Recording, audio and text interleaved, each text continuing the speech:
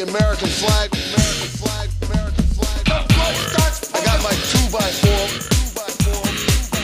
I got the American flag.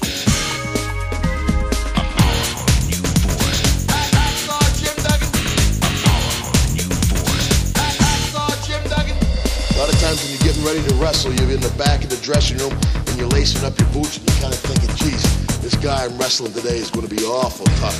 You know he's over in the other dressing room. He's big, he's young, and he's strong, and he wants to make his name beating up old hacksaw. So sometimes I do get a little apprehensive.